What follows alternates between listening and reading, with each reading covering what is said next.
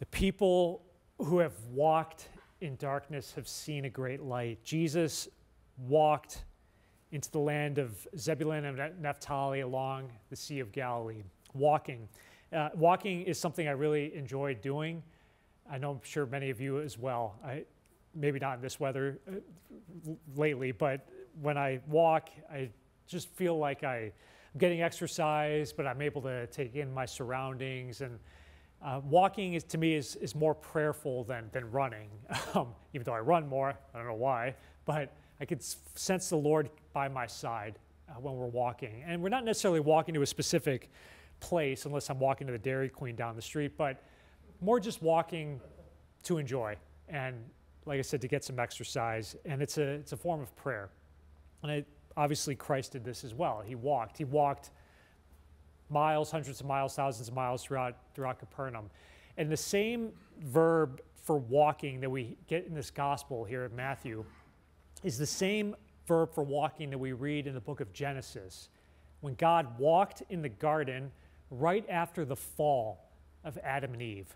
If you remember that scene, Adam and Eve have eaten the apple, their eyes are open, they're ashamed, they hide, and then now God is walking.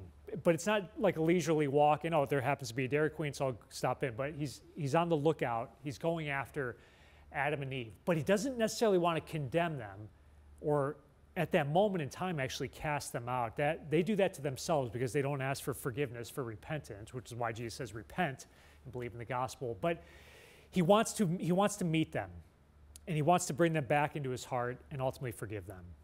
So he's walking with purpose. Now, Jesus is doing the same thing. He's walking with purpose, the light of the world.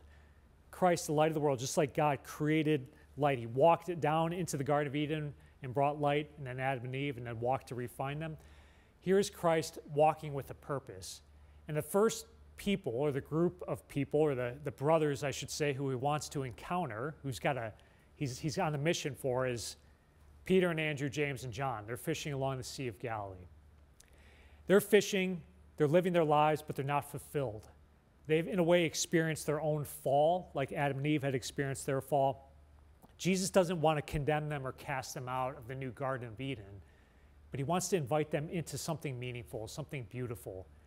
And they'll accept that invitation like Adam and Eve were unable to do. And they'll drop their nets and they'll walk alongside Jesus throughout this mission taking in their surroundings, conversing with Him, praying, and ultimately inviting others to do the same thing.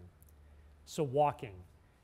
And what Jesus also will do is He'll give Peter and Andrew, James, and John the ability to, to get rid of those burdens on their life. So, that's like when I go for a walk.